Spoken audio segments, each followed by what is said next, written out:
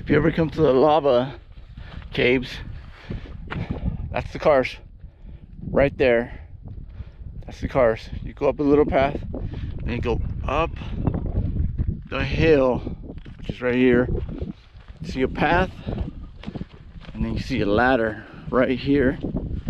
Follow this ladder, Go, and go, it you takes go you to all the caves that we're gonna check out right now.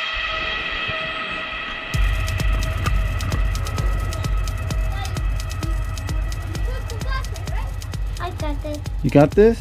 Uh-huh. And that's hard too. You go right here with. Wait,